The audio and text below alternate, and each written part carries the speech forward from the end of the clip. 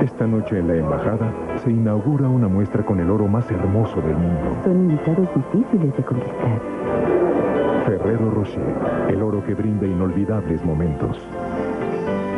Con Ferrero Rocher nos ha conquistado. Feliz Navidad con Ferrero Rocher, una expresión de buen gusto.